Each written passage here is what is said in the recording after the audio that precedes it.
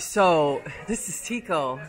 Is that a camera? What kind of camera is that? It's a good camera. This is Tico, though. Wow. And see, I, I've met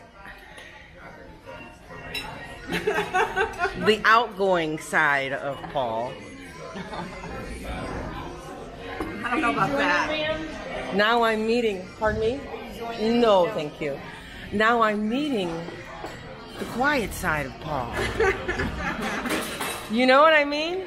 Unless you know him. Exactly. That's the that and that's the side that Paul gives you, unless you know him. That's true. it is true. Well, yeah. Oh wow. Oh, you guys are so handsome. Oh my gosh. No, thank you. You guys are so handsome. They've been told by them.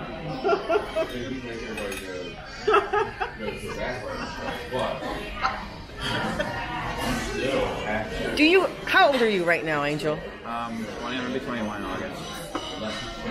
And how old are you now? I just turned 24. Last week?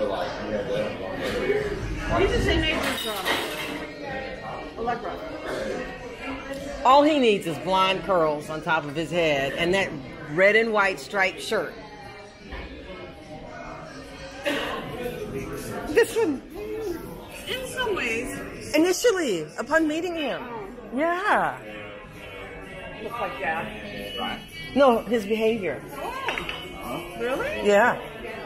Cautious, quiet, Oh, Wyatt, a listener, big time listener. Yeah. Don't you remember? And he'll, then he'll probably hear this song and he'll go, "Oh, what's that? Is that so and so and so and so?" You know.